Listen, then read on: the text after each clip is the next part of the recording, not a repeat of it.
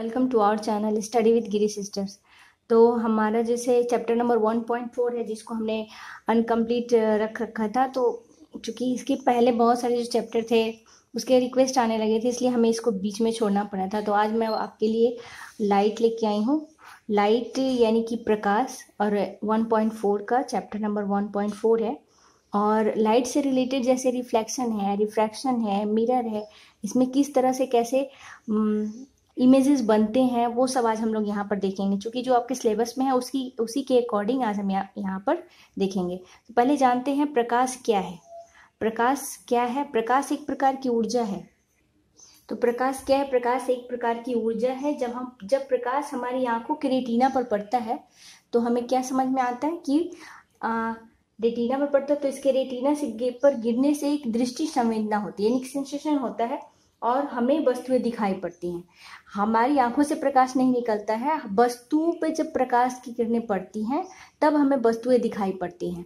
हमारे आँखों की रेटिना पर एक सेंसेशन होता है, जिसके कारण वस्तुएँ हमें दिखाई पड़ती हैं। तो प्रकाश क्या है? Light is a form of energy यदि आपसे कोई पूछे कि लाइट क्या है तो light is a form of energy ऊर्जा का ही एक रूप है प्रकाश। ठीक है? प्रकाश से मैं एक हम जैसे प्रकाश कैसे काम करता है, कैसे हम हम उस किसी वस्तु को कैसे देख पाते हैं तो अभी हम यहाँ पर जानेंगे कि कैसे हम किसी वस्तु को आसानी से देख पाते हैं। तो प्रकाश के परावर्तन के कारण ही कोई वस्तुएँ हमें दिखाई पड़ती हैं। किसी चीज़ से प्रकाश नहीं निकलता, प्रकाश उस पर वस्तुओं पर पड़ती है तो वस्तुएँ हमें दिखाई पड़ती हैं। तो कैसे दिखाई पड़ती हैं? इसका माध्यम क्या है? रिफ्लेक्शन, यानी कि परावर्तन। परावर्तन के कारण ही कोई वस्तुएँ हमें हमारी आँखों में दिखाई पड़ती हैं या उसका इमेज बनता है। तो व्हाट इज़ रिफ्लेक्शन रिफ्लेक्शन क्या है? तो प्रकाश का परावर्तन से हम कह सकते हैं कि जब प्रकाश की किरणें, प्रकाश की किरणें क्या होती है कि चिकने पृष्ठ पृष्ठ से टकराकर वापस लौट आती हैं तो इस घटना को ही प्रकाश का परावर्तन कहते हैं। यदि किसी चिकना, मान लीजिए ये प्लेन सरफेस है और इसके ऊपर कोई एक लाइट पड़ा और फिर ये वैसे वैसे ही चला गया तो इसी को ही प्रकाश का परावर्तन कहते हैं, ठीक है?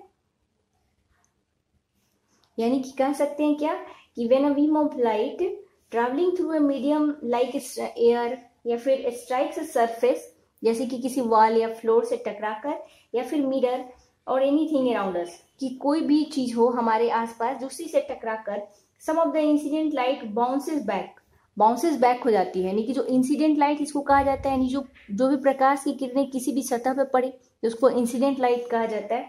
और उसके बाद और travels back into the first medium और फिर उसी मीडियम में वो वापस चला जाता है। तो it is can be compare with the bouncing of a ball from the ground ground पे यदि बाउंसिंग बॉल को डालेंगे, किसी सॉरी बॉल को डालेंगे तो बाउंसिंग बैक होगा। यानी कि जितने स्पीड से, जितने फोर्स से आप बॉल को वहाँ पुश करके डालते हैं, वह उतनी ही फोर्स से वो फिर से आपके पास आएगा। सेम यार यहाँ पर भी केस वैसा ही है कि यदि इंसिडेंट रेज कहिए लाइट कहिए इंसिडेंट रेज यदि किसी परावर्तक सतह से टकराकर फिर उसी दिशा में वापस चली जाती है या फिर इधर से आया और फिर इधर से चला गया। मीन्स क्या?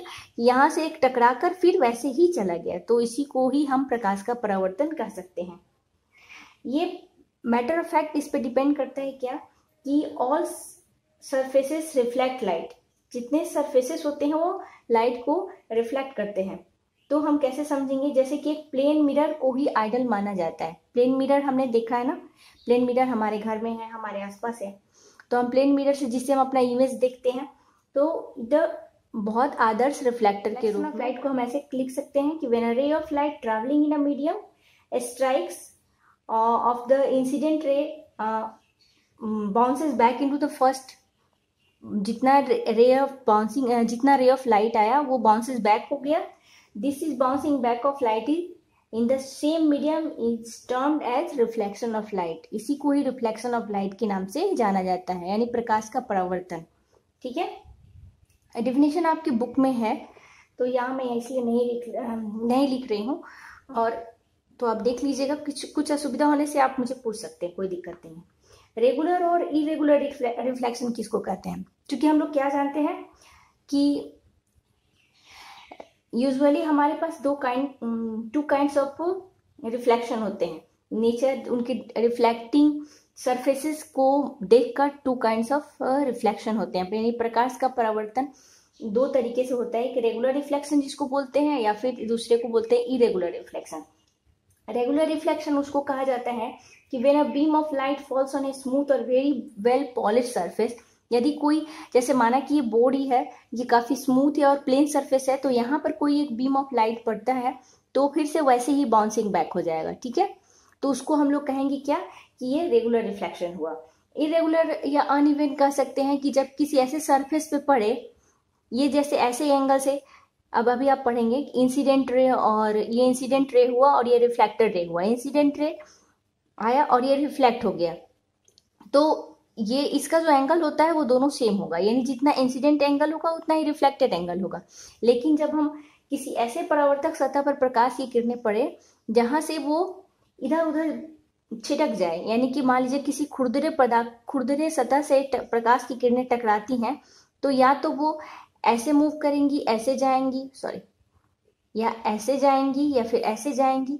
यानी कैसे भी जा सकती हैं। यानी इनका कोई एक एंगल नहीं होता है। ठीक है? तो इसको हम लोग कहेंगे इरेगुलर रिफ्लेक्शन ठीक है?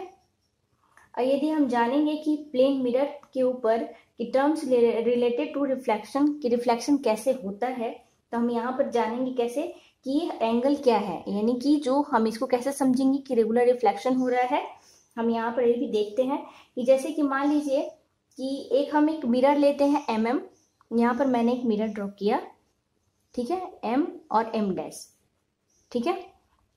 उसके बाद क्या किया कि ए O is a incident ray ये एक मिरर है कि एक प्लेन मिरर है एम और एम डैश है तो ये एक हिस्सा पॉलिश होता है और माना कि यहाँ से एक प्रकाश की किरणें आई। यहाँ से मान लीजिए कि मैं यहाँ पर एक किरणें भेज रही हूँ प्रकाश की किरण तो ये सेम एंगल बनाते हुए ये ऐसे चली गई।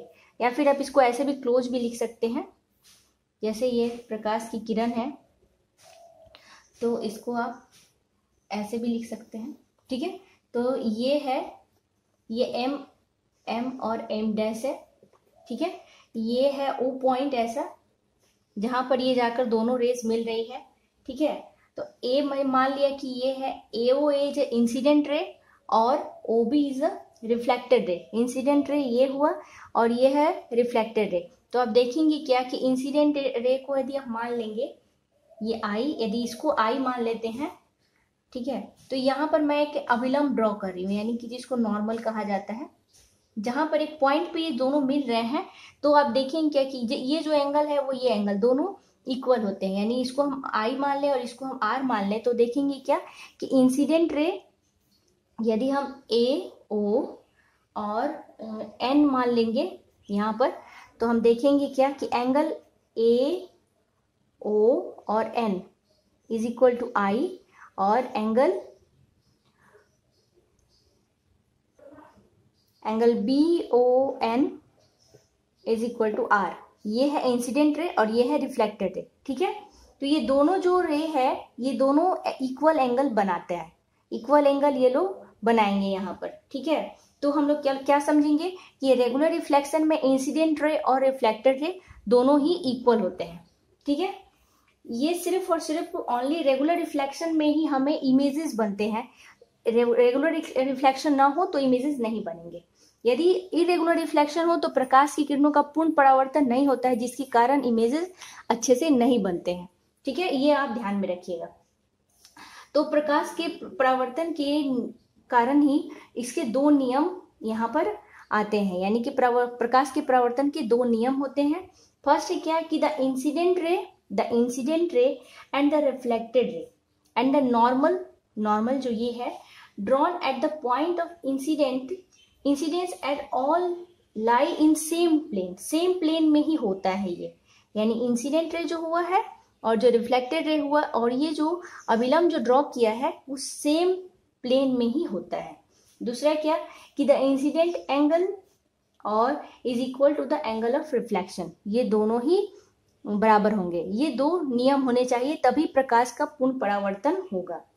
अब प्लेन मिरर में किस तरह से इमेज बनता है वो भी देखते हैं हम लोग। ये कैसे plane mirror formation of image by a plane mirror तो एक प्लेन मिरर में किस तरह से, एक समतल दर्पण में किस तरह से इमेजेस बनता है, उसको हम लोग यहाँ पर देखेंगे। जैसे मैंने एक रे डायग्राम किया है, आपके बुक में भी ये रे डायग्राम है, उसको आप देखिए या नहीं, ये यहाँ पर भी आप देख के समझ सकते हैं। यहाँ पर हम, मैंने बनाया क्या कि एक ओ एक ऐसा पॉइंट है suppose O with the point of object in front of plane mirror ये प्लेन मिरर है और इसके पॉइंट में ये है हिस्सा इसका पॉलिस है ये हिस्सा इसका ओपन है, ठीक है? तो ओ एक ऐसा पॉइंट है जहाँ से एक प्लेन मिरर जो एम एम वन और एम वन है एम टू एक प्लेन मिरर है, वो एक ऐसा पॉइंट है इन फ्रंट ऑफ़ मिरर और consider two rays two rays जैसे ओ ए और ओ बी ओ ए और ओ बी मान लिया जाए कि ये ओ ए है, ये देखिए ओ ए और ओ बी है, ये दोनों क्या रिफ्लेक्टेड रे हैं? इंसिडेंट रे है। मिरर के ऊपर पड़ रही है। तो हम यहाँ पर देखेंगे कि ये रिफ्लेक्ट होके क्या किया? ए सी बनाया और बी डी बनाया। रिफ्लेक्शन इंसिडेंस रे है ओ ए और ओ बी रिफ्लेक्टेड रे है ए सी और बी डी ठीक है? एंगल क्या बना रहा है? इंसिडेंस ये दोनों इक्वल एंगल बना रहा है। इंसिडेंस रे और रिफ्लेक्टेड रे इंसिडेंस एंगल और रिफ्लेक्टेड एंगल ठीक है? उसके बाद हम देखेंगे कि ये लोग यदि हम इस आ, इस रेस को, ये जो रेस है हमारे पास ए सी है और ये बी डी है, इसको हम यदि आगे तक बढ़ा देते हैं तो हम देखेंगे क्या कि ये दोनों जाके किसी एक पॉइंट पे जाके मिल जाते हैं। इस पॉइंट का नाम हमने रखा है आई जहाँ पर ये मिल रहे हैं, ये दोनों रे वहीं पर ही मिल रहा है तो वहीं पर एक इमेज बनता है। देखिए तो यहाँ मिरर के बैक हिस्से में इमेज बन रहा है और उसके बाद फिर ये यहाँ से हमें यहाँ पर भी इमेज बन रहा है। यानी हम देखेंगे क्या कि बिहाइंड द मिरर आई पे एक इमेज बन रहा है। From the reflected ray appear to be coming यहाँ से हमें पता चल रहा है क्या कि रिफ्लेक्टेड रे वहाँ से आ रहा है। तो आई क्या है? एक virtual image of the O object का।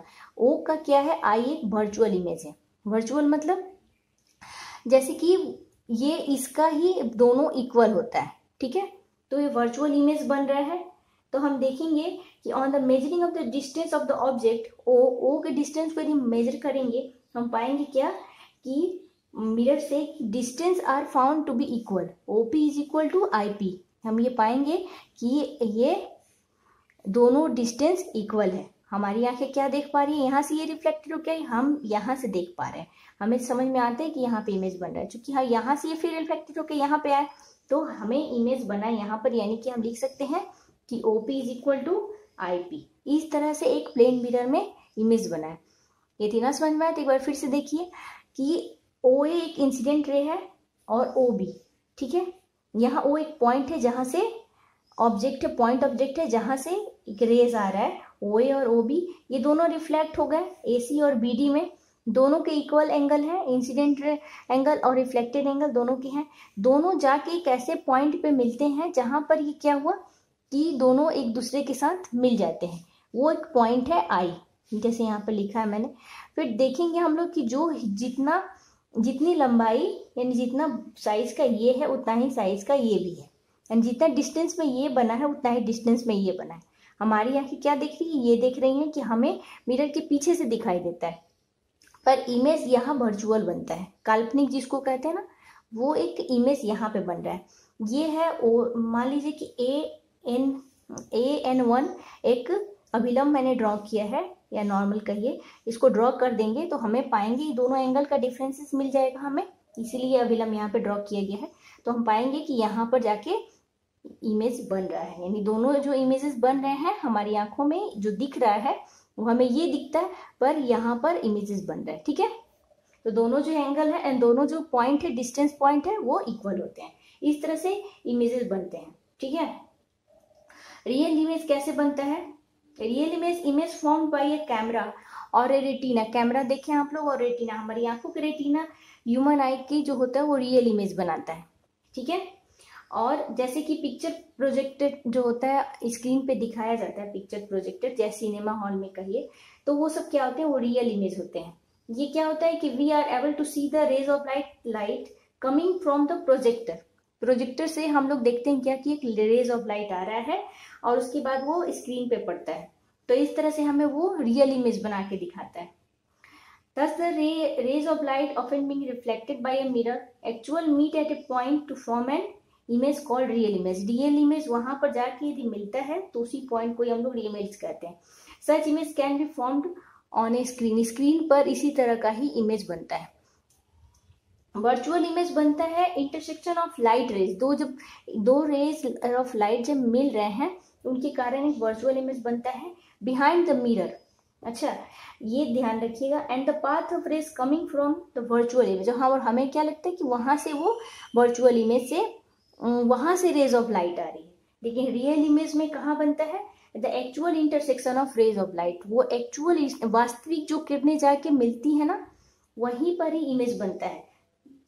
और वहीं से ही रे ऑफ़ लाइट आती है।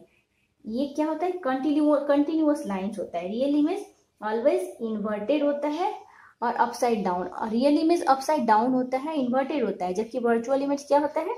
हमेशा सीधा होता है इरेक्ट होता है। इट इज़ ऑलवेज इरेक्ट ये डिफरेंसेस है। जैसे आपसे पूछा जाए कि प्लेन मिरर पे किस तरह की इमेजेस बनते हैं तो आप इसको लिख सकते हैं कि वर्चुअल और इरेक्ट बनता है। सेम साइज़ का बनता है दैट ऑफ़ द ऑब्जेक्ट जैसे हम मिरर में हम अपने को ही सेम साइज़ में देख पाते हैं। हमें ना बड़ा दिखाई देता है ना छोटा दिखाई देता है ऐसी बात नहीं है। यदि आप जाएँगे तो बहुत जगह पर मिरर का ही बहुत सारे ऐसे मिरर भी हैं। कोई ऐसे लैब में जाइए या फिर कोई ऐसे साइंस प्रो, प्रोजेक्ट वगैरह में देखेंगे तो वो अलग अलग तरह की इमेज बनाते हैं। तो वो उस इमेज में नहीं जिस आईने में आप अपने आप को देखते हैं वो आपका बनाता है क्या वर्चुअल इमेज बनाता है और सेम साइज़ का होता है। जैसा ऑब्जेक्ट होगा, वैसा ही इमेज बनेगा। As far behind the mirror mirror के बहुत दूर बनता है। As is the object in front of the mirror हमें क्या लगता है? हम ऑब्जेक्ट के मिरर के सामने मिरर के सामने होते हैं और इमेज बनता है काफ़ी दूर। Laterally inverted if the object is not symmetrical inverted आपको समझ में आएगा इन्वर्जन के रूप में जब हम पढ़ेंगे तब। इन्वर्जन क्या होता है? जैसे आपने देखा होगा कि यदि आप प्लेन मिरर के सामने खड़े हो तो आप देखेंगे कि आपका left hand appears to be right और right hand appears to be left दोनों बाईस वर्षा दिखाई देगा। मतलब क्या है? एक दूसरे से वो, ऐसे यदि मान लीजिए कि आर लिखा है आर लिखा है ना तो हमें क्या दिखाई देता है? वो इस तरह से दिखाई देता है। ठीक है? तो ये इन्वर्जन हुआ। यानी कि जो such interchange of the left and right side इस तरह से इसको नॉन सिमेट्रिकल बोलते हैं object it is it its image due to reflection of light by a plane mirror is called lateral inversion of light ये lateral inversion of image इसको lateral inversion of image कहा जाता है। क्योंकि ये क्या होता है? नॉन सिमेट्रिकल होता है। Image due to reflection of light ये मिरर्स में ही ये इमेजेस इस तरह से बनते हैं। जैसे कि lateral inversion of image is not noticeable for the object which are symmetrical जैसे सिमेट्रिकल अल्फाबेट्स होते हैं ना, वो जैसे कि ए हुआ एच हुआ I M O T U B W X Y ये सब क्या है? Why lateral inversion is noticeable by the object जैसे कि कुछ ऐसे होते हैं नॉन सिमेट्रिकल ऑब्जेक्ट जैसे अल्फाफेट होते हैं बी हुआ सी हुआ डी हुआ ई e हुआ एफ़ हुआ जी हुआ, इस तरह से जो बनते हैं, ये इन्वर्जन के रूप में बनते हैं। आपने देखा होगा कि जो एंबुलेंस वर्ड होता है, वो प्रिंटेड किया जाता है तो वो क्या किया जाता है? वो उल्टा लिखा जाता है ना, देखे होंगे ना? तो वो क्या होता है कि जब वो पीछे से कोई, मान लीजिए कि कोई गाड़ियाँ वगैरह आ, यदि एंबुलेंस पीछे है और बहुत सारी गाड़ियाँ जो सामने की तरफ़ है तो क्या उनके मिरर में क्या दिखाई देगा? वो जो इमेज बनेगा वो सीधा दिखाई देगा। तो वो जो जितनी भी गाड़ियाँ हैं, वो तुरंत से साइड कर देती हैं। वो इसलिए कि जो एंबुलेंस उसको जल्दी निकलना चाहिए। तो ये लेटरल इन्वर्जन कारण जो एंबुलेंस, जो वर्ड होता है, वो हमेशा उल्टा लिखा जाता है, ताकि वो जाके जो आगे के जो पर्सन है, उसके मिरर में वो चीज़ सीधा दिखाई दे और वो रास्ता दे दे। यही एक कारण है। प्लेन मिरर में ambulance printed, laterally inverted in front of an ambulance. So that it may appear accurate in rear view rear view of mirror में रिव्यूअर, जो मिरर में वो क्या करते हैं कि साफ़ साफ़ दिखाई देता है और जो ड्राइवर जो इन फ्रंट में होता है सामने की तरफ़। तो इस तरह से ये लेटरल इन्वर्जन हुआ। यदि formation of image by a plane pair of plane mirror कहा जाए तो आप कहेंगे कि ये सिर्फ़ एक मिरर के ऊपर एक इमेज बना। यदि आप देखे होंगे कि बहुत सारे जो मिरर होते हैं बारवर्स हाउस में वगैरह में तो किस तरह से कितने इमेजेस बनते हैं? बारबर के हाउस जाएँगे वहाँ पर तो आपको बहुत सारी इमेजेस तो दो इमेजेस दो मिरर हो तो वहाँ पर किस तरह से इमेज बनेगा? वो देखते हैं, ठीक है? तो जैसे कि formation of image by a plane pair of plane mirror यदि पेयर ऑफ़ प्लेन मिरर हो तो उसमें किस तरह से इमेजेस बनेंगे? यदि दो मिरर को यदि हम एक दूसरे placed at an angle reflecting surface facing each other यदि उनका रिफ्लेक्टिंग सरफेस है, ये बैक है मिरर का ठीक है? और ये है, मान लीजिए कि ये रिफ्लेक्टिंग ईच अदर हो रहा है मतलब इनका जो रिफ्लेक्शन सरफेस है वो एक दूसरे के फ्रंट में हो। तो इस तरह से कितने इमेज बनेंगे? Each other and object is placed between them यदि वो कोई ऑब्जेक्ट है यहाँ वो ऑब्जेक्ट को हमने यहाँ पर प्लेस कर दिया है तो multiple images are formed multiple images are formed होंगे। देखिए, वो एक ऐसा पॉइंट है जहाँ से इमेजेस बन रहे हैं। तो यहाँ से इंसिडेंट रे पड़ा, फिर ये रिफ्लेक्ट हुआ। ये इंसिडेंट रे गया ये ये बनाया आई एंगल ये बनाया आर एंगल उसके बाद फिर ये क्या हुआ? ये इस मिरर का रिफ्लेक्शन का काम किया। रिफ्लेक्शन के बाद ये इस मिरर में आया। इसमें आया तो ये एक रिफ्लेक्सिंग रिफ्लेक्टिंग एंगल बना ये रिफ्लेक्टिंग एंगल इंसिडेंट एंगल का काम करेगा। जो यहाँ से जो रिफ्लेक्शन हो रहा है, वो इंसिडेंट रे का काम करेगा इस मिरर में। एक या, एक रे यहाँ गया, दूसरा रे फिर यहाँ गया। तो जो दो रे यहाँ से निकल रहे हैं, उसका इमेज यहाँ पे बना, इस मिरर के इस फ्रंट में बना। ठीक है? उसके बाद यहाँ से जो रे निकल रहा है, इस मिरर का, वो गया यहाँ पे। ये क्या किया? इंसिडेंट रे का काम किया और फिर ये रिफ्लेक्टेड रे का इस मिरर में काम किया। उसके बाद से जो ये इमेजेस बना रहे वो यहाँ जाके बना रहे हैं। फिर यहाँ पर ये इंसिडेंट रे गया इसमें। इस, इसका रिफ्लेक्टिंग रे इसका रिफ्लेक्टिंग रे इसका इंसिडेंट रे बन गया। फिर ये रिफ्लेक्शन हुए तो दोनों को मिलने का फिर यहाँ इमेज बना। तो इस तरह से कितने सारे इमेजेस मल्टीपल इमेजेस आर बनेंगे। ठीक है? यदि दो मिरर को एक दूसरे के फ्रंट में प्लेस कर दिया जाए, रख दिया जाए तो क्या होगा? इसका इंसिडेंट रे उसका रिफ्लेक्टेड रे इसका इंसिडेंट रे और फिर इस मिरर का रिफ्लेक्टेड रे उसका इंसिडेंट रे बन जाएगा। फिर उस मिरर का रिफ्लेक्टेड रे इसका इंसिडेंट रे बन जाएगा। तो वो जो इमेज है, उसके, वो जो एक ऑब्जेक्ट है, उसके बहुत सारे इमेजेस मिरर के बैक साइड में हमें बनते मिलेंगे। तो यहाँ पर मान लिया जाए कि the number of images form depends on the angle between the mirrors दोनों के बीच में कितने एंगल के बन रहा है दोनों के बीच में तो इसको ये देखना पड़ेगा। यही डिपेंड करता है। यदि मान लीजिए कि थीटा एक एंगल है दोनों मिरर के बीच में तो number of images are formed यदि मान लिया जाए कि नंबर ऑफ़ इमेजेस होगा 360 360 डिग्री एंगल बनाएगा बाई थीटा माइनस वन और ये बनाएगा।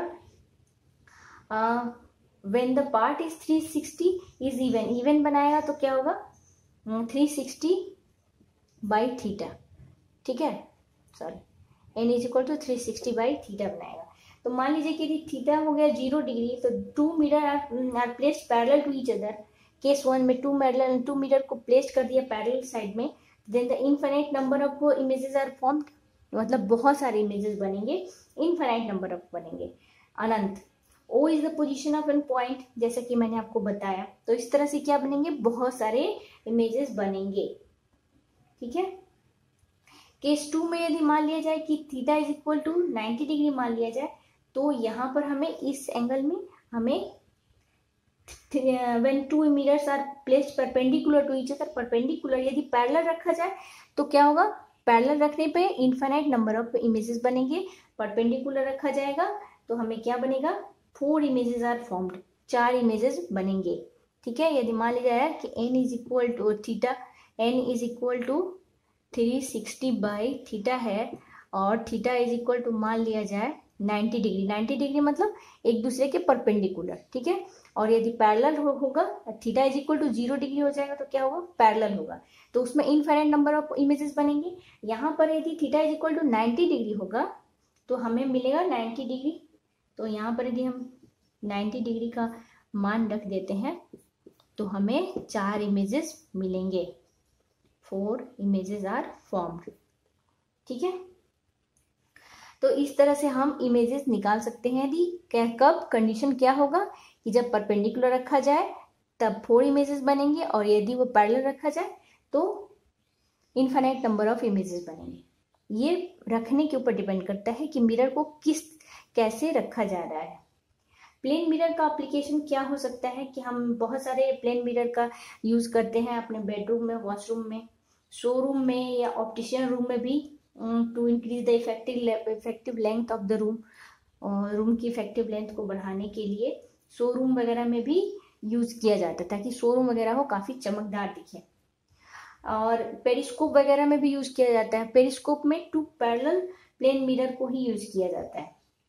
जो कि 45 डिग्री एंगल पर बना के रखा जाता है और vertical side of long tube जो लॉन्ग ट्यूब जैसा कि आपके बुक में इमेजेस हैं, देखिए यहाँ पर जैसे इमेजेस हैं, जैसे ये पेरिस्कोप जैसे है, एक इमेज भी यहाँ पर दिखाई दे रहा है तो इस तरह से जेड आकार का बना होता जेड आकार का इस तरह से बना होता है ये और यहाँ से हम यदि आँख लगा के देखेंगे तो जो इंसिडेंट रे है, ये यहाँ से मान लीजिए कोई एक रे है, यहाँ से आ रहा है तो हमें वो दिख, दिखेगा और हमारी आँखों पे वो आसानी से दिख जाएगा, क्योंकि यहाँ पर एक मिरर होगा, यहाँ पर एक मिरर होगा तो यहाँ से, यहाँ पे रिफ्लेक्शन होगा, यहाँ से यहाँ रिफ्लेक्शन होगा। और ये जेड आकार के होने के कारण हम बहुत दूर तक की चीज़ों को भी आसानी से देख सकते हैं। पेरिस्कोप का यही फ़ंक्शन होता है। उसी तरह से होता है क्या कि फोर्टी इसका जो एंगल होता है वो ध्यान रखना है कि इसका जो एंगल होता है वो फोर्टी फाइव डिग्री पे होता है और पैरेलल मिरर होते हैं। टू पैरेलल मिरर रखे जाते हैं एम और एम टू जैसा कि आपको डायग्राम में दिखा गया है। और वर्टिकल साइड से लॉन्ग ट्यूब होते हैं तो टू अपोजिट इंच होते हैं टू अपोजिट इंच भी होते हैं इसके। तो periscope periscope enable to us see objects over obstacle बहुत दूर तक के ऑब्जेक्ट को भी हम लोग देख सकते हैं। ठीक है? उसी तरह से होता है, कैलिडोस्कोप भी होता है कि थ्री स्ट्रिप्स होते हैं, इसमें कैल्डोस्कोप में प्लेन मिरर के, जो कि इक्वल साइज़ के होते हैं और ये 60 डिग्री एंगल पर होता है। अभी बताया ना आपको कि थीटा का मान यदि अलग अलग होगा तो अलग अलग तरह के इमेजेस हमें बनते हुए दिखेंगे। यदि थीटा का मान अलग हो जाता है, जैसे कि यहाँ पर पेरिस्कोप में 45 डिग्री हो गया, और सिर्फ़ कैलोस्कोप में हो गया 60 डिग्री के एंगल पे हो गया तो इसमें three strips of plane plane mirror का तीन स्ट्रिप लिया जाता है जिसका एंगल होता है सिक्सटी डिग्री का और एक दूसरे को प्लेस किया जाता है। जैसा कि आपके फिगर में है ये दिखाया गया, आपके बुक के फिगर में। तो जो तीन जो मिरर होते हैं, वो अलग अलग तरह के इमेज बनाते हैं। Are tap to each other to form triangular tube की तरह होता है और एक स्मॉल यदि आप देखेंगे ट्रायंगुलर ट्यूब को, और यदि कलर पीसेस ऑफ़ रख देंगे बीट्स के तो आपको देखने में Then the images are formed. The other in the tube is covered with steep paper or make a hole on it. In this way kaleidoscope are formed. Kaleidoscope का जो formation है वो इस तरह से बना हुआ होता है कि हमें if we look through the hole and rotate the kaleidoscope multicolor images are seen तो multicolor images इसमें kaleidoscope में दिखाई देता है उसको रोटेट करने पर क्योंकि उसका एंगल होता है कितना 60 डिग्री पे होता है इस तरह से मिरर को प्लेस किया जाता है कि वो मल्टी कलर इमेजेस आर हमें दिखाई दे। ठीक है? इस तरह से हमारा ये रिफ्लेक्शन ऑफ़ लाइट का ये जो पार्ट है, वो खत्म हो गया। नेक्स्ट वीडियो में हम मिलेंगे। रिफ्रैक्शन ऑफ़ लाइट वो क्या होता है और उस तरह से कैसे हम इसको समझेंगे? प्रकाश का पूर्ण परिवर्तन के कारण ही इमेजेस बनते हैं, यानी कि वस्तुएँ हमें दिखाई पड़ती हैं। ठीक है? तो इस तरह से हमारा ये रिफ्लेक्शन ऑफ़ लाइट आज कंप्लीट हुआ और नेक्स्ट वीडियो में रिफ्लेक्शन ऑफ़ लाइट में मिलेंगे। तब तक आप इसको ध्यान से स्टडी करिए। आई होप सो कि आप लोग को अच्छे से समझ में आ गया होगा। नहीं भी आए तो आप मुझे कॉमेंट्स के में पूछ सकते हैं। तब तक आप ठीक से रहिए और ध्यान से पढ़ाई करिए। Thank you